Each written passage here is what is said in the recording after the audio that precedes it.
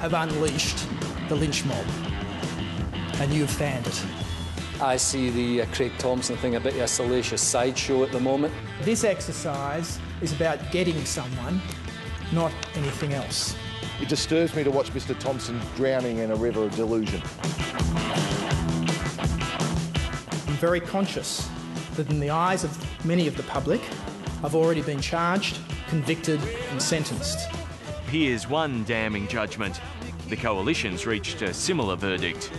I had an imaginary friend as a child, but he didn't use my credit card. It reminds me, in fact, of the words of Jack Palance from Ripley's Believe It or Not, Believe It or Not. And the opposition does not believe it. I just think he's a scumbag. As much as it stinks, as much as it grates me that he sits behind me and goes about his business, the fact is he has a right to sit in that parliament.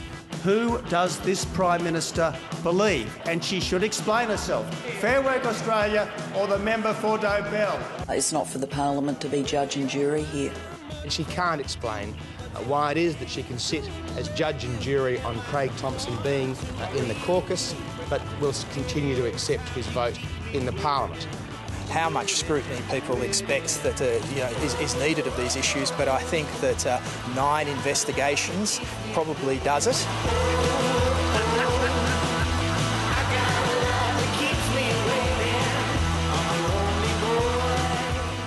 Tonight, the Parliamentary Privileges Committee began its inquiry into the Thomson affair. On the question of the of the standard of proof, I would have thought that the ordinary civil standard would be uh, more than good enough uh, for the Parliament. Thank you for Justice Abbott. This guy's just a hack. He's not a judge, he's not a jury, he's a hack. It's a committee that doesn't leak. This is a pretty serious issue to uh, leak the first meeting of the Privileges Committee. There is now an inquiry into that inquiry. That's how nuts it gets. What next? This Prime Minister, Minister fails to take the censure. She scurries from the chamber. She scurries from the chamber to Coward's Castle.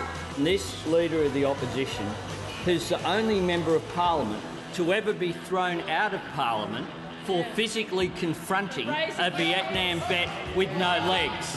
This is a rotten government, a rotten Prime Minister, and it should go.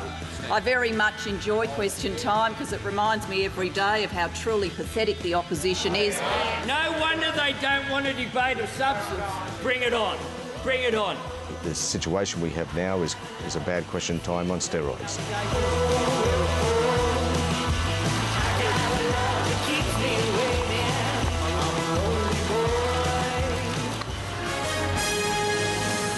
Detailed a transaction on his credit card involving an escort agency which until now has not been identified. This defies credibility that you're going to spend $60,000 to buy an interview from a prostitute. And for the record, no one's received any money from a current affair.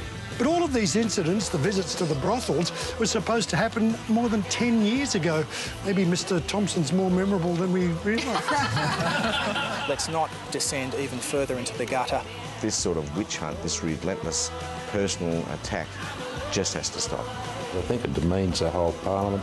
Many people are, are really just sick to death of this whole thing. As enough is enough, really.